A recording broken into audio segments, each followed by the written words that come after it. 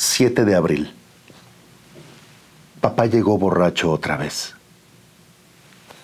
Escucho su voz y siento sus pasos subiendo la escalera. Tengo miedo. Tengo mucho miedo.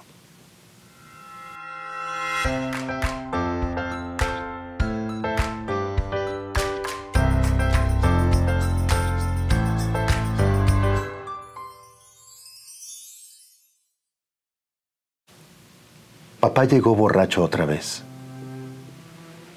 Escucho su voz y siento sus pasos subiendo las escaleras. Tengo miedo. Tengo mucho miedo. Y sé que aunque debo contenerme, me cuesta trabajo. El otro día me golpeó fuertemente. Me hice pipí en la cama. Mamita, ayúdame, mamita, por favor, ayúdame. Ella no me escuchaba, pues al entrar papá en la recámara, comienzan a escucharse los gritos y corro con miedo, como tantas otras veces. Le digo, no le pegues. Ya, papito, ya no le pegues, suéltala. Pégame a mí, a ella no. A ti también, infeliz mocoso. Deja de chillar. Pareces una nena, mariquita. Y mientras golpea mi cuerpecito, hay insultos que no entiendo. Deja de golpearme cuando nota que otra vez no puedo levantarme. Pero yo tengo la culpa. Si fuera un niño más inteligente, como mi primo, si dejara de pedir de comer, porque apenas alcanza el dinero. Y yo con mis exigencias. Y cuando tengo frío o estoy enfermo, no puedo decírselo a mamá porque ella se preocupa y entonces empieza a llorar.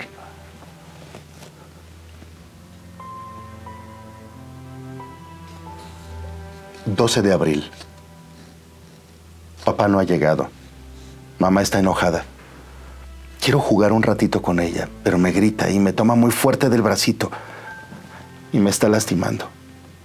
Me avienta contra el buró y mi muñeca hace un ruido extraño y comienza a hincharse.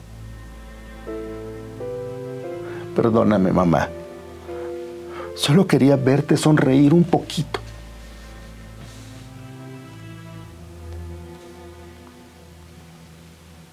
...19 de abril...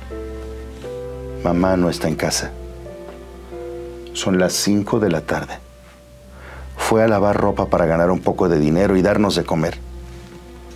Papá llega azotando la puerta, gritándole a mamá. Voy a saludarlo. Papito. Abro mis brazos para colgarme de su cuello, pero me doy cuenta de que está borracho otra vez. Quítate de mi vista, infeliz escuincle. ¿Dónde está tu madre? Maldito chamaco.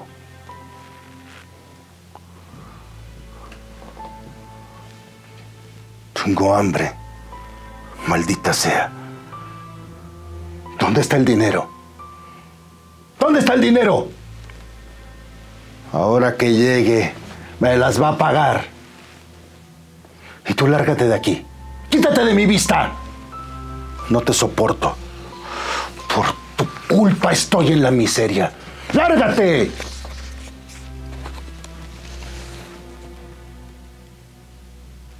...23 de abril...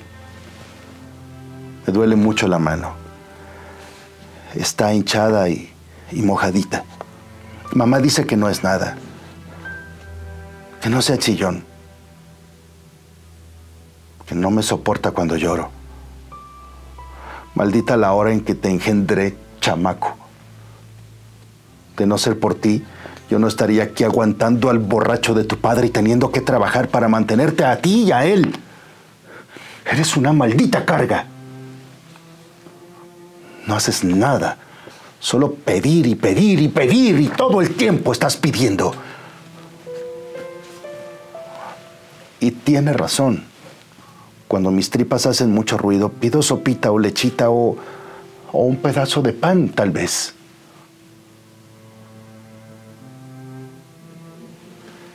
...30 de abril.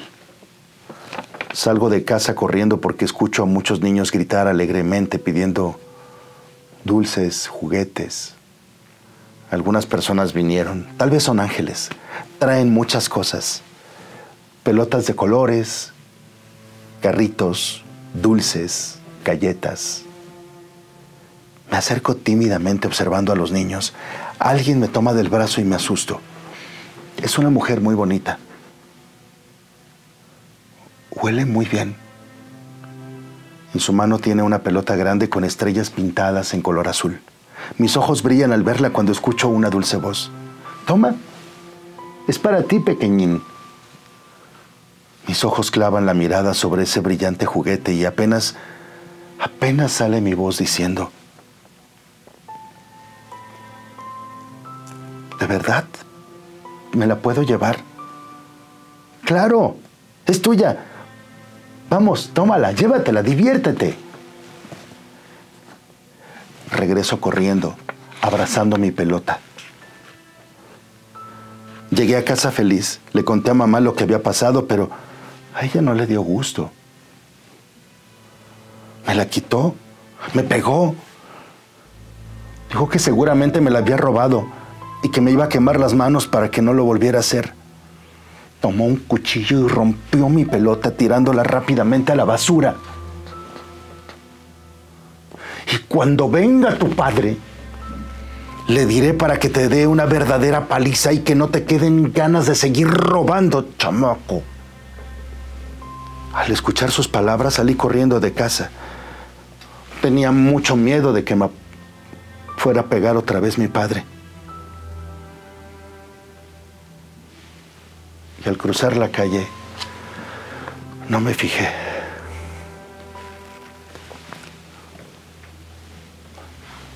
Sé que soy muy tonto porque siempre me lo dice mi papá. Cuando volteé ya era demasiado tarde. Un vehículo me arrojó contra la banqueta. Golpeé mi cabecita contra el filo de la misma banqueta. Qué extraño. Ya no me duele mi manita y aunque me pegué muy fuerte en la cabeza, no siento nada, nada. Veo a mucha gente a mi alrededor gritando, preocupados, desesperados, pidiendo una ambulancia. Y veo a mamá que se acerca a mi cuerpo tirado sobre la calle. Qué raro. Hacía mucho tiempo que mamá no lloraba por mí. No llores, mamita. No llores, por favor. Perdóname. No me fijé al cruzar la calle. No te enojes conmigo. No le digas a papá porque me va a pegar otra vez. Seré un buen niño. Te, lo prometo. Haré todo lo que tú me digas. Y, y no robé. Prometo que no robé. La pelota me la regaló una señora. No le digas nada, papá, porque me va a volver a pegar.